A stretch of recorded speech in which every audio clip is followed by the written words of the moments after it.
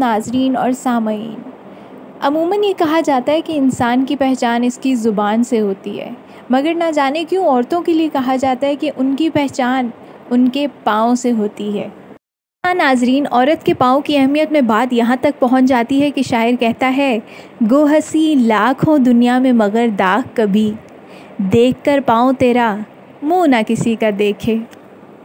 क्या समझे कि औरत के पाँव की खूबसूरती इतनी अहम है कि शायर से लेकर रिश्ते कराने वाली खालाएँ तक सिर्फ़ पाँव देखना चाहती हैं? अगर पाँव खूबसूरत हैं तो यस कीजिए। जनाब। हाँ मानती हूँ आपकी डिग्री, आपका इखलाक, ये सब कुछ मायने रखता है, मगर प्लीज़ फ़िलहाल जज्बाती होने की ज़रूरत नहीं है। आए चलते हैं वीडियो की तरफ़, क्योंकि आने वाली है ईद और घर पर आएँगे मेहमान। हर लड़की चाहेगी कि ईद के जोड़े के साथ साथ उसके पाँव भी बहुत खूबसूरत लगें।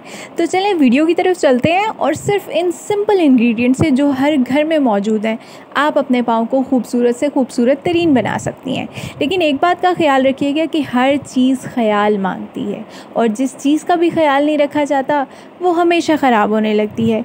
जनाब, आपने लेने हैं सिर्फ़ चार इंग्रेडिएंट्स, टूथपेस्ट, मीठा सोडा, कॉफ़ी और दूध।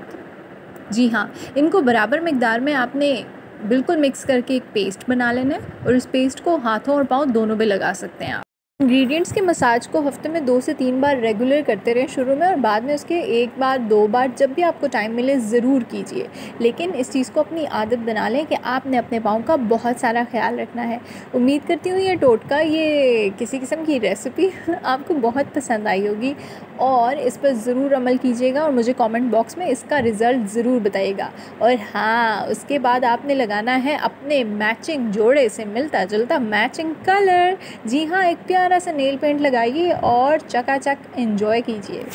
अल्लाह हाफिज़।